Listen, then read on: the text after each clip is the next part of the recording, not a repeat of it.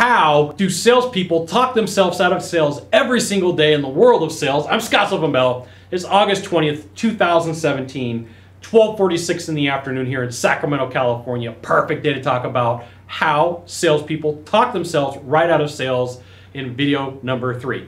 And you know, this happens a lot is the salesperson decides that they want to sell what they would buy. Now you got to know that people do sell how they buy or you buy how you sell. There's tons of different ways to say it. But if you're making the buying decision and you're saying this is the one that I want you to buy because one, it gives better commission, or two, it's the one that I would buy because it's got all the bells and whistles or because it's the cheapest, whatever the reason is, you're going to talk around whatever you want as a purchase and not what the buyer wants as a purchase.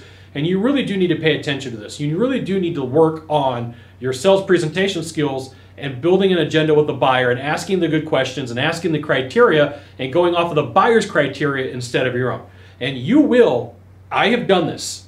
My name's Scott, I have done this. I have talked people out of sales because I talked them into what I would buy, not versus what they would need, okay? So salespeople do this every day. It happens in every industry. And you can talk yourself because you're not speaking the same language. You could go into I mode. This is what I would do. This is the one that I would want. This is the one that I would buy. This is what I would do. Right? And instead of you, this is the best one for you. This is the one best one for your criteria. This is the best one for what you need to get. This is the best one for the situation that you explained to me. Right? And because the buyer's like, what do I care about what you want?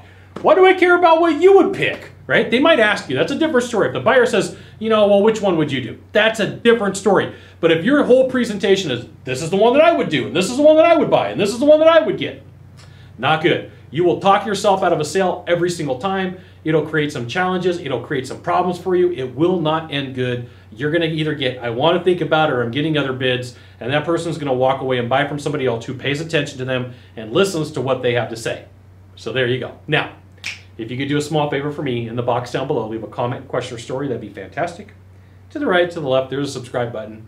You know what you got to do? You got to subscribe. And then after all that, you can send it out to all your friends via StumbleUpon, Facebook, Twitter, Google+. Why not even LinkedIn? Scott Sylvan Bell. We'll see you soon. Thanks for watching. Aloha.